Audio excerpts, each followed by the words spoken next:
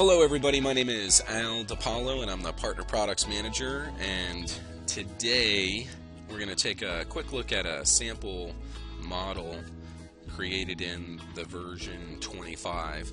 So let's go ahead and get started. Uh, the first thing we're going to do is create a solid. So we'll create a new layer, make an active, go to solids, and then cube. And we're going to do a 5 by 4 by 2 and then we'll click OK. Alright, so here we have our solid.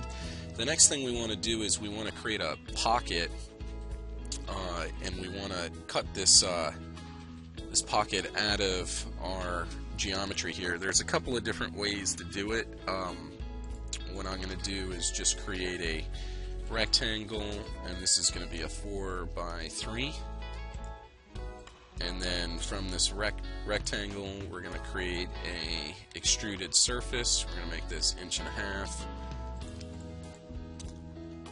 And okay. So now we have our first shape and our second shape. We'll go ahead and do is cut these shapes away from each other. So now we have our pocket. The next thing that we want to do is create another rectangle. This one's going to be a 1 by 1. And then we'll extrude this up 1 inch. Okay. So now we're going to add all of these together. Solids add this, and this. Okay. So at this point we have our solid model. The next thing we want to do is we want to add some fillets and chamfers.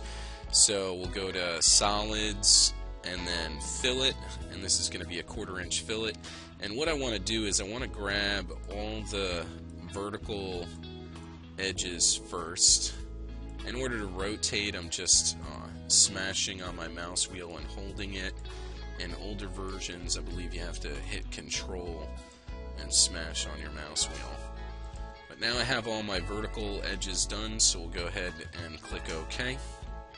Alright, so now what we want to do is fillet uh, the bottom edges and fillet this uh, top edge, so we'll just click on this face here, and then spacebar, and then we'll click on this edge here, and then spacebar, spacebar, or right mouse OK.